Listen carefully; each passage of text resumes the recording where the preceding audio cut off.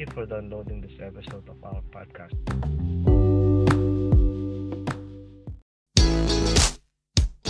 Hi, and welcome to the podcast for Solomon Staircase Masonic Lodge number 357, where we talk about all things related with Freemasonry, including Hermetic teachings, philosophy, reason, spirituality, and much more. We're located in Buena Park, Southern California. Tune in as we continue to update our podcast with informative talks and articles for Masons worldwide and those who would like to inquire within.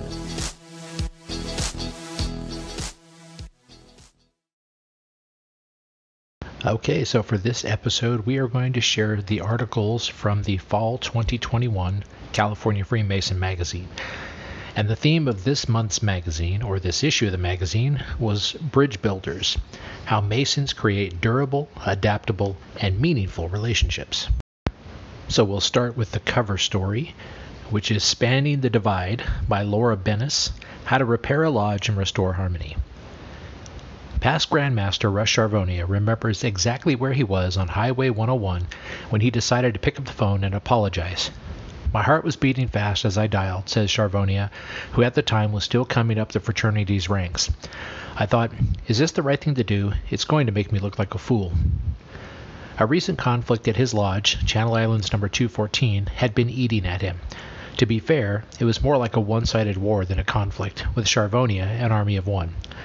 Not long before, during the turbulent time, a new master had stepped in to lead the lodge. Right away, something about him set Charvonia off. To put it bluntly, Charvonia says, I had made my mind up. This guy is a real jerk. This went on for months, until one day Charvonia witnessed an interaction between him and another member. It ran against everything he'd been telling himself. He was treating this brother with such care and compassion, he says. The old narrative crumbled. Charvonia realized that if there was any jerk in the lodge, it was him. Now, speeding along Highway 101, he knew he wanted to do something about it. When his fellow lodge member picked up the phone, Charvonia didn't waste any time. Worshipful, I owe you an apology, he said. I judged you when I shouldn't have.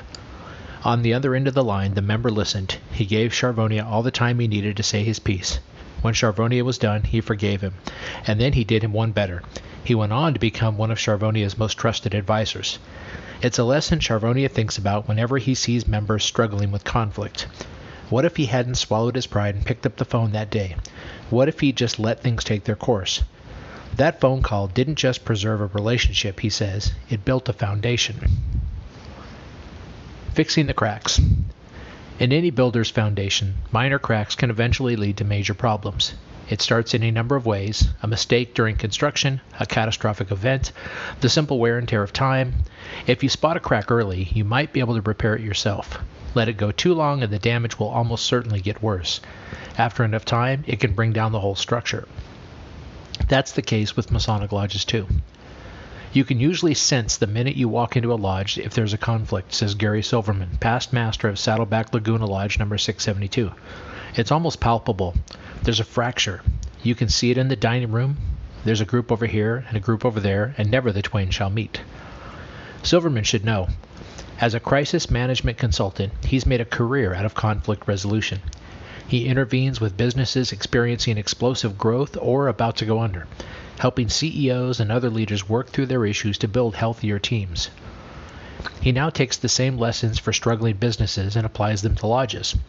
At Masonic leadership retreats, he often gathers lodge leaders in candid, confidential discussions about the problems keeping them up at night. Over the years, he's visited many of their lodges to facilitate conflict resolution. As a result, he's been around more lodge discord than most. He's seen conflicts that started as innocent misunderstandings hardened into grudges. He's seen conflicts caused by the pressure a lodge experiences during a time of growth or change. He's seen conflicts about money and status and personality clashes. More than that, he's seen them start with someone who simply wants to be heard. Interpersonal conflicts usually come from a common issue. Somebody has a desire to contribute, and they're not being allowed to, he says. Often, all the person wants is to be listened to and have their opinion valued. Whatever the circumstances, take it from Silverman. Conflicts don't just flare up at troubled lodges or growing lodges, old lodges or new. They happen everywhere. No matter what the cause of such problems is, learning to address them is one of the most important issues a lodge faces. In membership surveys, Masons consistently say that issues related to lodge harmony, interpersonal relationships, politicking, and bickering are the greatest contributor to their overall feelings toward the fraternity. Those who feel heard and respected remain active. Those who don't tend to drift away. For many lodge leaders, navigating the tangle of intra lodge beefs isn't just challenging, it can feel totally outside their skill set. Yet a lodge master's greatest responsibility isn't just balancing the books or organizing events, it's maintaining lodge harmony. Luckily, Silverman says, the tools they need are all available within the context of Masonic teaching. When Silverman meets with members who are at odds, he usually begins with a question Why did you join?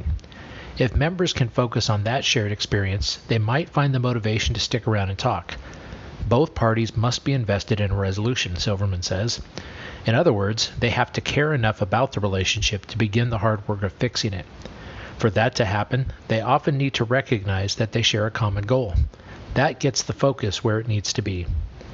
Once they agree to that, it's a matter of following the lessons every candidate learns in the first degree. Meet each other on the level, part on the square, walk uprightly. Of course, like most of Masonry's lessons, this is easier said than done. Hard talks. To mend a damaged relationship, a lodge needs the courage to sit down and talk about the problem. And for that to be successful, it might need some help from a skilled facilitator, or, at the very least, some practice with difficult conversations.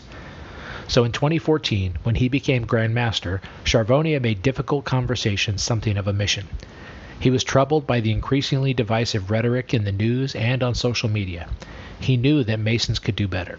So he devoted his Grand Master's term to forming and launching the Masonic Family Civility Project, hosting discussion forums and sharing resources for promoting respectful, productive discourse between Masons and non Masons alike. The discussion model takes Masonic concepts like equality, tolerance, and brotherly love and puts them through their paces.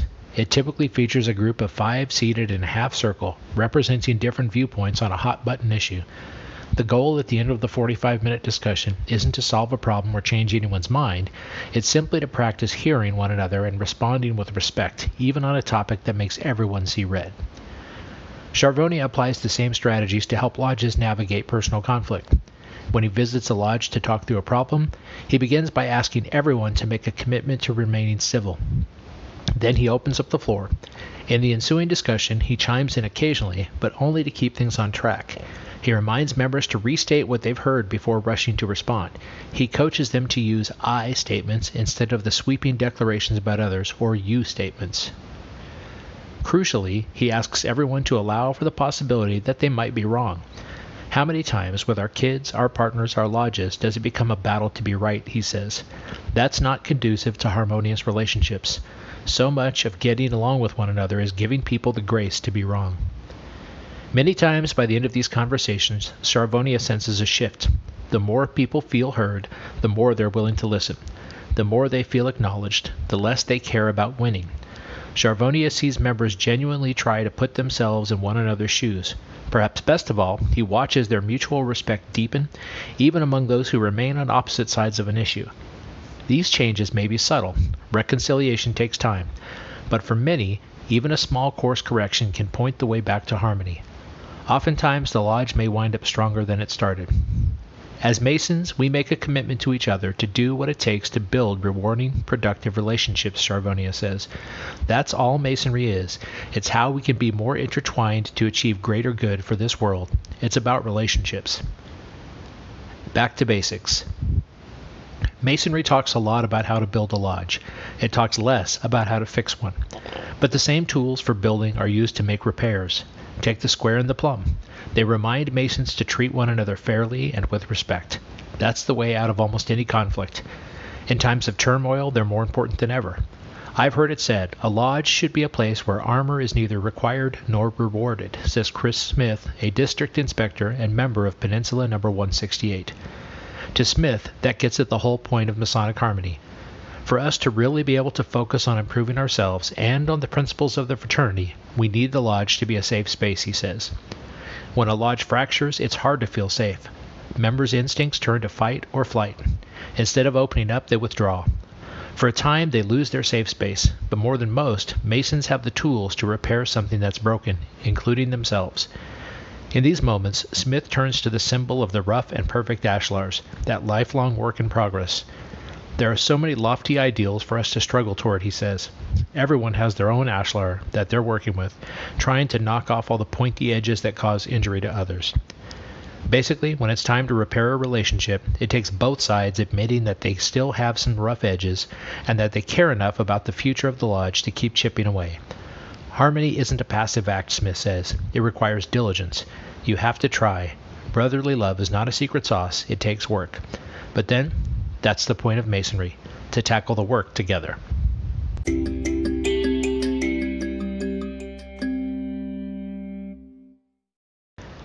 Is Forgiveness Manly? Why Letting Go of Grudges is the Strongest Move of All by Brett and Kate McKay. No answer still, I thrust a torch through the remaining aperture and I let it fall within. There came forth in return only a jingling of the bells. My heart grew sick. On the account of the dampness of the catacombs, I hastened to make an end of my labor. I forced the last stone into its position. I plastered it up. Against the new masonry, I re erected the old rampart of bones. For the half of a century, no mortal has disturbed them. In pace requiescat.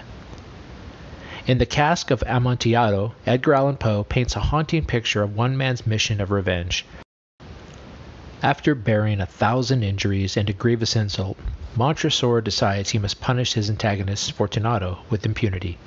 A wrong is unredressed when retribution overtakes its redresser, says Montresor. It is equally unredressed when the avenger fails to make himself felt as such to him who has done him wrong. And so, under the guise of seeking his opinion on some Amontillado, Montresor lures Fortunato deep into the cold, damp catacombs. When they arrive at a niche in the walls, Montresor chains Fortunato to a rock and slowly begins to wall up the enclave brick by brick, leaving the stunned and confused nobleman inside to die a slow and agonizing death. Montresor's revenge is complete. The idea of justified revenge is one of the most common themes in literature, movies, comic books, and even video games. From the Count of Monte Cristo to the Punisher to Red Dead Revolver, revenge is often the driving force behind our most popular stories. For thousands of years, we have cheered the manly and heroic character who personally sought to avenge the wrong done to him or to his loved ones. The more perfect and complete his plot for revenge, the colder the dish served, the more delicious and admirable we find it. When the evildoers finally get their comeuppance, we are filled with vicarious satisfaction.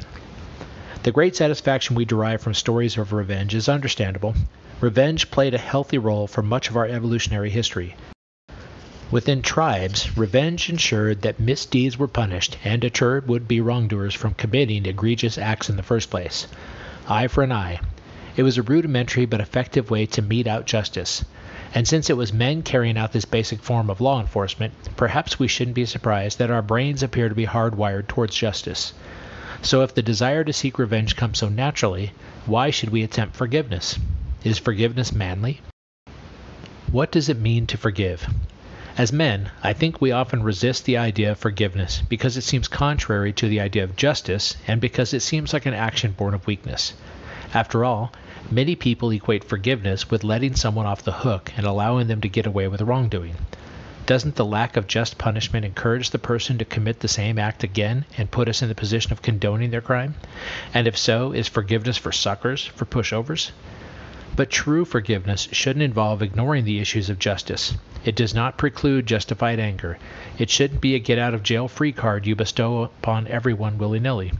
It is not something you agree to simply avoid conflict. It should not involve being a doormat who allows someone to hurt you over and over again. It is not the same as reconciliation, and it does not mean that you forget what has happened, nor that you automatically trust a person again. What it does mean is that you let go of both your ill feelings towards the offender and your need to personally balance the scales of justice. It's a process whereby the antagonism you feel for the offender is replaced with compassion. Sounds sissy? It's not. In fact, summoning the strength to forgive someone can increase your manliness in a variety of ways. Forgiveness shows maturity. The reason it's easy to cheer for revenge in a movie is that typically the plot is set up in a very black and white way. The hero is an admirable and virtuous guy. The villain is pure evil and kills the hero's family simply because his heart is black as a lump of coal. Of course, the real world is rarely so simplistic. Seeing things in black and white is generally reserved for children. At a certain point, the boy must become a man. Maturity involves the ability to step into another person's shoes and see things from a different perspective. It requires a mind that understands the human condition and recognizes people as truly complex creatures with frailties, failures, and checkered histories. You need not condone the wrong someone did, but you should try to understand it and them. Okay, your dad was a jerk, but why was that? Probably because his dad was a jerk to him, and that's all he knows about being a father. Did your friend do something completely out of character? What was going on at the time? Was he acting out of the hurt of his recent breakup? Sometimes people do wrong uh, us randomly, and perhaps these offenses are the most difficult to deal with. But even then, the person typically has a screw loose. Something is just not right upstairs. Forgiveness can change your whole perspective on life and people. We come to see others as fellow travelers in this world. Everyone's walking around with various wounds and various capabilities for dealing with those hurts and angers. They're not evil villains who are out to get you, but people stumbling around, trying to do the right thing, and sometimes failing miserably. Kind of like you. Forgiveness involves taking personal responsibility and shunning victimhood. Being a man means taking personal responsibility for your life, but we often hold on to our grudges because they make for handy excuses excuses that keep us from finally growing up. We can't forgive our dad for what he did to us because when we do, we will no longer be able to use that as an excuse for our personal failures. We'll have to move forward and accept full responsibility for our lives, and that can be scary. When we hold on to a grudge, we hold on to our identity as victims. We let someone else's actions define us. When we forgive, we decide that we define who we are. Forgiveness puts you in control. By withholding forgiveness, you feel like you've got the upper hand on someone. You can dangle reconciliation on a string, make them continually grovel with contrition. Grudges thus offer the illusion of power and control, yet they can't fulfill that promise. Ironically, the offender is still the one holding your puppet strings. Your mental state is dependent on them. You've made your happiness contingent on another person. You need to show me X and treat me like X for me to be happy. If we wait until the other person is sorry, we're giving them control over us. We're waiting on them. Don't give them that power. When you choose to forgive, you embrace your free choice and agency. No one can make you feel like crap without your permission. Forgiveness grants you freedom. When we hold grudges and plot our revenge, we limit our freedom. Yes, we get to keep the other person in prison and wield that power, but what we don't realize is that we're stuck in jail with them, having to play the role of the ever vigilant warden you can put someone in the doghouse, but you better make room for two. Or as the Chinese proverb says, he who seeks revenge should remember to dig two graves. Revenge eats us up from the inside. It's a pile of coals that we hold in our hands, giving off heat while it burns your body. Once you let the other person go, you're not just releasing them, but you're releasing yourself, breaking free from the rotting prison and moving forward. Forgiveness allows us to grow. What people usually won't say out loud is that resentment and anger make us feel powerful, tough, untouchable. And having an enemy and plotting revenge gives our life purpose, a tent pole for our thoughts to revolve around. Where would superheroes be and what would they spend their time doing without an arch nemesis? But this kind of purpose is a dead end and a waste of our valuable energy, consuming us and slowing our progress. When you come to a place of forgiveness, you can start to find meaning in your suffering. You figure out what you'll do differently next time and come to an understanding of how the pain helped you grow and become a better man. Forgiveness can be a platform for leaping forward in life. Forgiveness requires bravery and confronting pain. Blame and bitterness might make you feel powerful and tough, but they're often a cover for the inability to face pain head on. Holding a grudge against your ex wife, thinking about how much of a she devil she is every time she crosses your mind is a coping mechanism. Continually drinking from the well of anger keeps the pain from the dissolution of your marriage at bay. We use bitterness as a way to keep ourselves from having to mourn a loss. Once we let go of the anger, we're forced to confront the pain directly. Forgiveness involves taking a risk. We have to open ourselves up to the past hurt and the potential of being hurt again, and that takes courage. Lastly, forgiveness creates a manly legacy. Perhaps the manliest benefit of forgiveness is the way it enables you not only to be free yourself from being locked inside bitterness, but how it creates a powerful legacy for those who come after you. You may come from a family where generation after generation has been hurting each other and keeping those feelings locked up, sickening the men from the inside. Instead of making the same mistakes with your kids, forgiveness says, The buck stops here with me. You have the courage to acknowledge and feel the pain, and then to let it go instead of passing it on. You have the power to weld a new link in the chain of generations, and manliness. This article first appeared on the Art of Manliness blog by brother Brett McKay of Veritas number 556 in Oklahoma. Read more at artofmanliness.com. A New Beginning by Ian A. Stewart.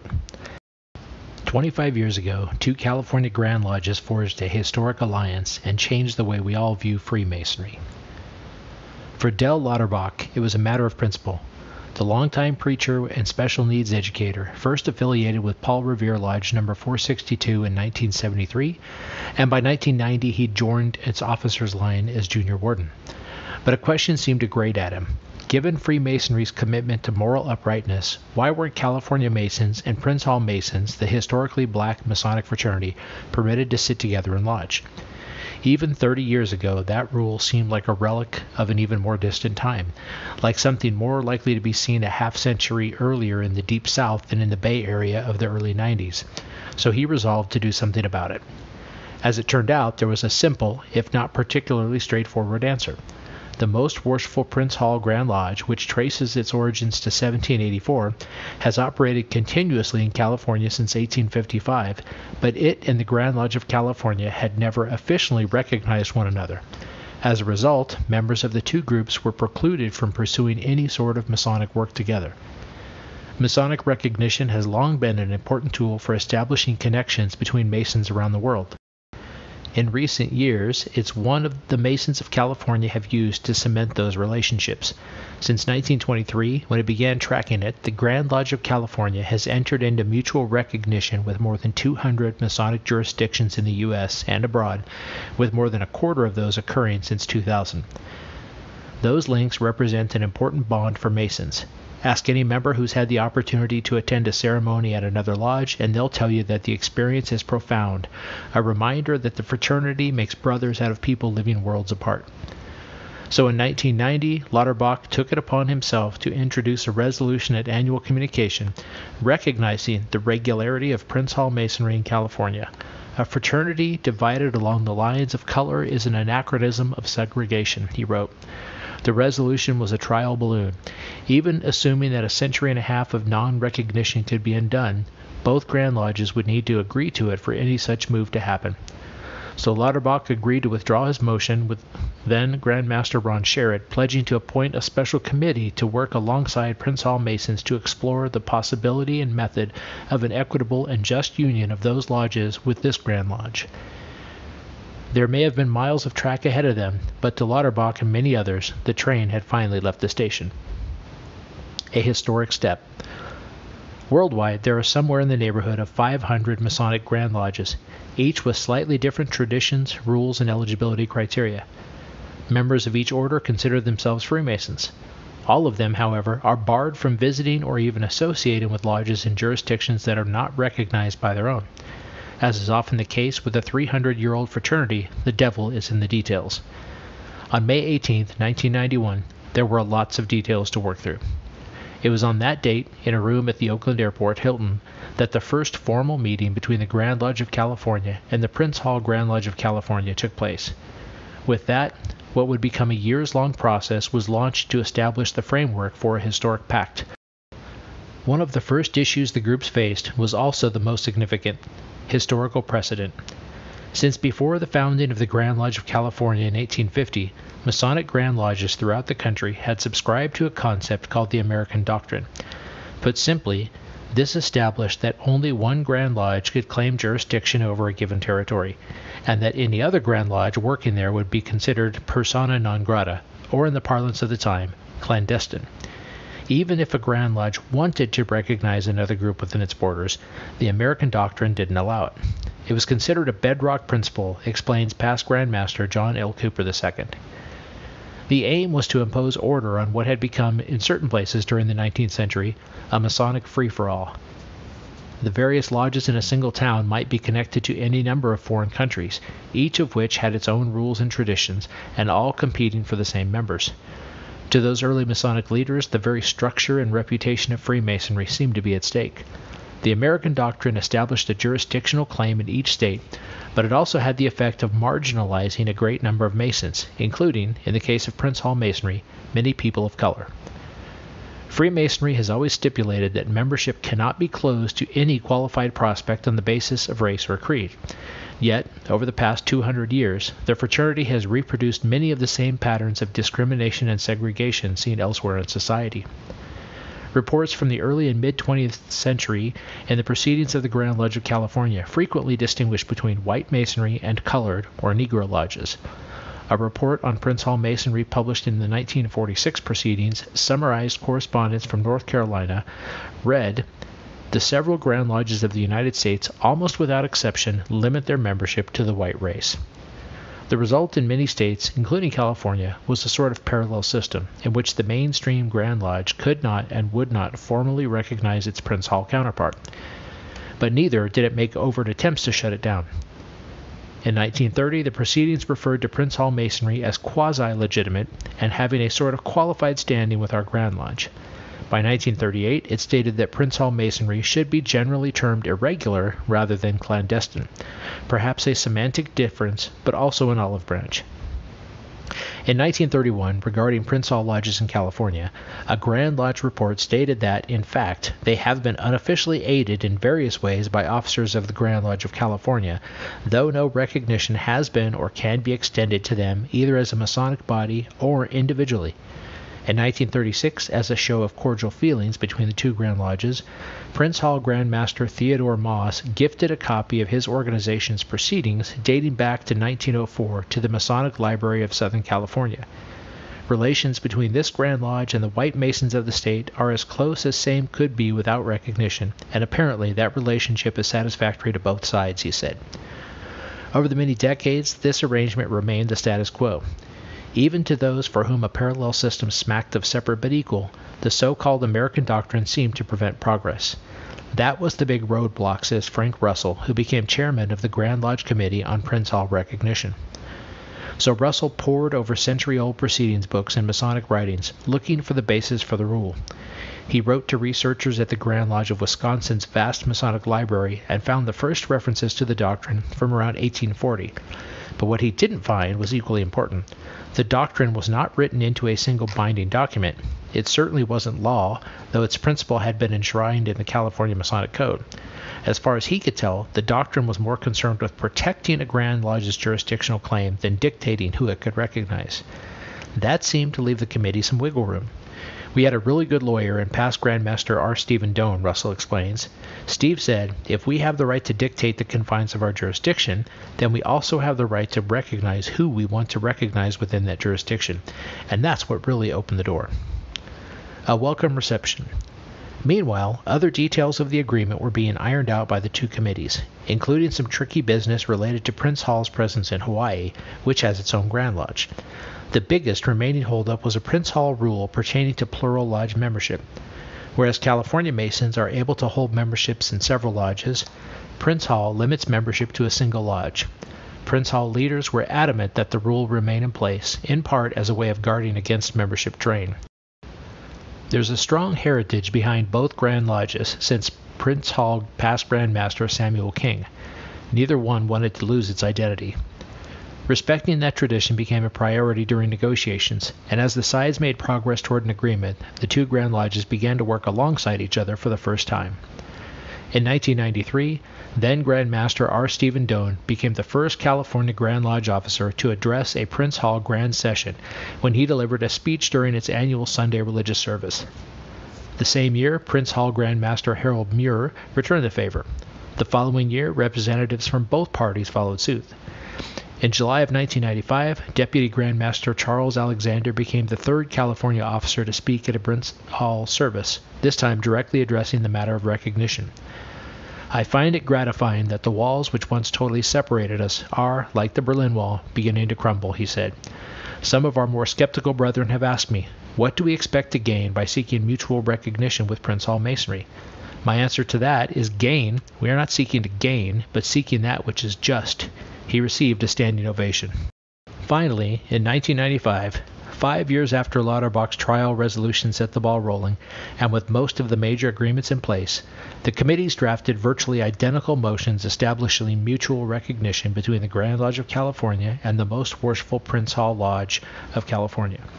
Masonry was designed to be a brotherhood of man, which need not be an idle dream in the great state of California, said then Prince Hall Deputy Grand Master Ronald Robinson. The Prince Hall body passed the resolution unanimously. At the Grand Lodge of California's annual communication, it passed 1392 to 124, nearly 92% in favor. History is continually being made up and down this shared jurisdiction, declared a special issue of the Prince Hall Masonic Digest. The barriers are down. There are no excuses. All have the good work to do. The bridge has been built. A shared future. Far from being merely some procedural vote, mutual recognition has opened the door to a new level of cooperation between the two Grand Lodges. In doing so, it helped deepen the fraternal experience for Masons of all stripes. Since 1996, when the agreement took effect, the Grand Lodge of California has entered into mutual recognition with 35 other Prince Hall Grand Lodges across the United States, Canada, the Caribbean, and elsewhere. In turn, the Prince Hall Grand Lodge of California has similarly entered into recognition agreements with the uh, United Grand Lodge of England and countless other bodies. In February 1996, Grand Master Charles Alexander's home lodge, Oxnard number 341, and Prince Hall Grand Master Joseph Nicholas Unity number 22 made history by convening California's first intra-lodge meeting. It was only the beginning. Representatives of both Grand Lodges now regularly attend one another's annual communications, and countless Masons have been allowed to peer behind the curtain and sit in on one another's workings. There's been an opening of arms on both sides, says King, the past Grand Master of Prince Hall. It's been outstanding. The partnership has also extended beyond the lodge room. California Grand Lodge and Prince Hall Grand Lodge Masons work together on philanthropic efforts, including the Masons for Mitts Glove Drive, and have attended numerous public ceremonies together. That was strongly in evidence in 2014 when more than 400 Prince Hall Masons and their California Masonic counterparts came together to lay the cornerstone for Sacramento's new basketball arena, sending an important, visible signal that California Freemasonry is bigger than any one Grand Lodge. That, say the leaders of both groups, is the future of the fraternity.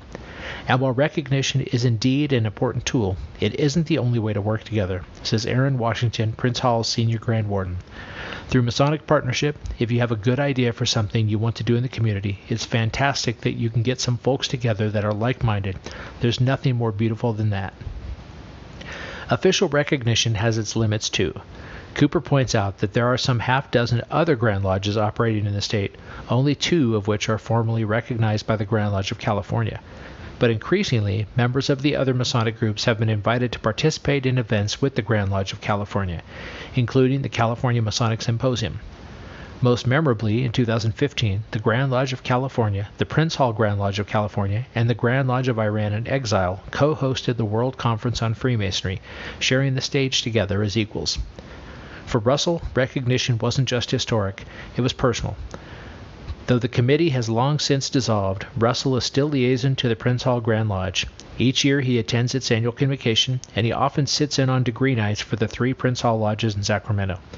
In 2001, then Grand Master of Prince Hall Masons Herbie Price presented Russell with a plaque declaring him an honorary member, making him, in all likelihood, the only dual member in the history of the state.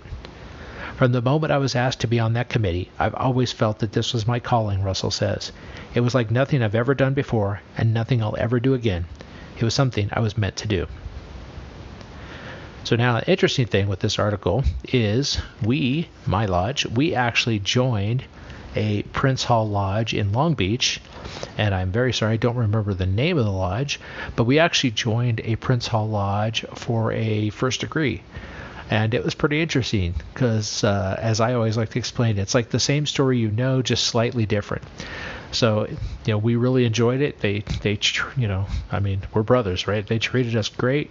It was a great time we had, um, and then we actually had a speaker come and give what I think they call the legend of Prince Hall or the history of Prince Hall as a Masonic education night. So we still uh, keep in touch with them. We have you know, occasionally um, some shared events, but uh, it was it was a good start. And with that, we'll close out this article.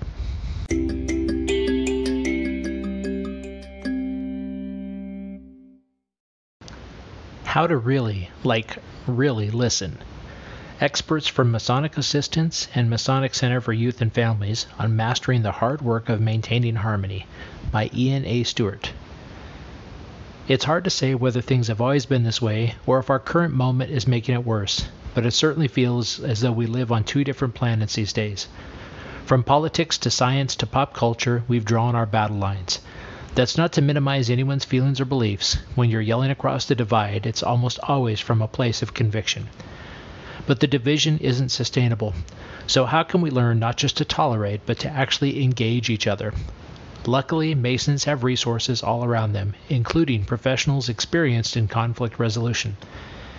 California Freemason tapped into that collective brain power for some practical advice on learning to listen, giving an inch, and maybe diffusing a bomb. Lesson 1 Validation, not agreement. Here's an easy one that won't cost you a dime. Tell someone you hear them. You don't have to agree to validate their experience, says Lizette Martinez, the manager of outreach and education for Masonic Outreach Services. Let them express themselves without interruption. Recognize that they may be coming to their position from a different place than you. Validation means acknowledging that you heard what they said and that from their perspective it makes sense that they have the response they have. Martinez says, The biggest misconception is that if you validate someone, you're agreeing with them. It's so very untrue. Lesson 2 Empathetic Listening. When counselors from Masonic Outreach Services encounter difficult calls, and they often do, the tool they rely on most is empathetic listening. I know empathy might seem squishy and vague, but it's the foundation for navigating these types of interactions, says Saul Silverman, manager of Masonic Assistance. Describe their position back to them and let them correct you if you've got it wrong. Ask for clarification, says David Quinteros, a therapist at the Masonic Center for Youth and Families. Be aware of your posture and nonverbal communication. If you're pacing around, rolling your eyes, or fidgeting, it shows a lack of interest. You can't argue with how someone feels, so frame the exchange in first person statements, Silverman advises. Lesson 3 Who's not here? Everyone wants to feel seen. When they sense that they're not, they want to leave. This is particularly important when members have stepped back from their lodge, says Jody Michael, Programs Manager for Masonic Center for Youth and Families. They want people to see that I'm hurt. I disagree. Does somebody notice that I'm not here? That's huge. Noticing people's absence or silence is an important first step to mending a relationship before it's fractured beyond repair. Lesson 4 Establish house rules. Masons have well established terms of etiquette and engagement. The same rules apply to conflict resolution. Community agreements have always been something I implement in groups, Martinez says. These should be agreed upon by everyone rather than come as a directive from the top. Leadership is about reminding people to play by the rules, Silverman adds. It's really up to the lodge leaders to enforce these expectations and redirect the conversation when necessary. But the lodge's usual code of conduct doesn't cover everything, so it's important to establish a specific set of norms that ensure everyone feels heard and respected. Someone might say, When I'm speaking, I don't want to be interrupted, Silverman says. Or, if I say something that offends you, I want you to feel comfortable telling me that. Allowing members to participate in coming up with these rules will make it more likely that they'll be followed. Lesson 5 Know your triggers. Self awareness is one of the hardest traits to develop and one of the most important when it comes to dealing with others. Everyone has biases, values, and buttons that get pushed, says Sabrina Montez, Executive Director of Masonic Outreach Services. The first step is being aware of them so that when we're triggered, we know why. That level of self reflection helps us understand our reactions and gives us the chance to get change them, if that's the way forward. Says Michael of Masonic Center for Youth and Families, other people don't know our biases. We don't wear them on a t shirt. When people offend our sensibilities, they usually aren't doing it on purpose. They just don't subscribe to the same set of values as us. By separating people from their behavior, we allow them to alter the way they act, Michael says. It prevents them from being labeled, which is never helpful because it doesn't allow for change. Lesson number six say no supportively. An unfortunate part of the job for Silverman is that he isn't always able to help every person he encounters in precisely the way they might like. You may get requests that cannot reasonably be fulfilled, he says. Instead, be prepared to offer support in other ways. When we get a request for assistance and the person doesn't meet eligibility criteria, we don't just say goodbye and hang up. We offer to provide consultation, information, and referrals. That service is nearly always accepted and appreciated because our time and experience is valuable. So even though the person didn't get what they called for, they hang up feeling supported. Lesson 7 Operate from Strength. In the same manner as validating another person's position, it's important to take what Montez calls a strength based approach to acknowledging what they're trying to accomplish. That means recognizing the positive intention behind words or actions, even if they're off putting. That opens people up to new ways of accomplishing their goals. If an older member argues that he doesn't want to change how the lodge holds a fundraising event, try to see the positive side of what he's saying. Perhaps this older member is a tradition holder, someone who wants to preserve the lodge culture that's important to him. Michael says, recognizing good intentions creates a space of understanding where you might find compromise. Lesson 8 Don't always focus on solutions. Compromise isn't always the goal, though, nor is closure. The most common mistake people make is being too solution focused, Martinez says. Most of the time, we are more helpful just by being present with our whole self and providing empathy. Quoting the leadership researcher Brene Brown, she says, The truth is, rarely can a response make something better. What makes something better is connection. And lastly, lesson 9 remember why you're here. The purpose of Masonry is finding brotherhood, Quintero says. Everything else, the disagreements and arguments we all encounter, is secondary. Says Michael, stripping it all down, there's commonality there. You're still brothers despite your differences, and that's a great thing.